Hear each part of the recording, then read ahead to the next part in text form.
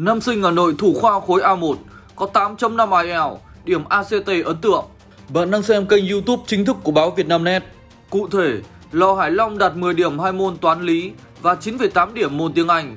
Chia sẻ cảm xúc vui mừng khi nhận được thông tin, nam sinh cho hay, em rất bất ngờ khi đạt số điểm cao hơn kỳ vọng ban đầu.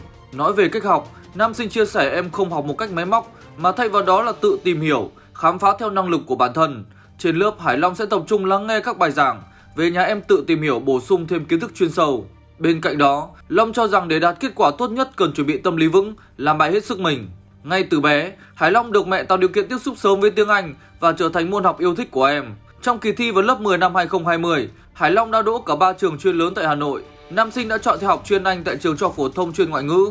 Hải Long cho hay, tinh thần tự học của em được phát huy tốt vì ở trong môi trường các bạn xung quanh ai cũng giỏi, chăm chỉ. Nhìn các bạn đạt nhiều thành tích đôi khi rất áp lực, nên em càng quyết tâm hơn để đuổi kịp mọi người. Đầu năm lớp 12, em mới chọn thi khối A1, muộn hơn so với các bạn nhưng em vẫn duy trì đều ôn tập song song các môn và hoàn thiện các chứng chỉ đánh giá năng lực.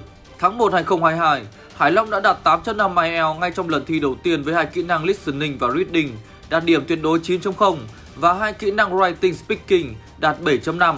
Ngoài ra em còn thi chứng chỉ ACT và đạt số điểm gần tuyệt đối là 35 trên 36. Tuy đôi lúc thấy áp lực với thành tích của bạn bè xung quanh, nhưng Hải Long luôn tự điều tiết lại để động viên bản thân cố gắng hơn.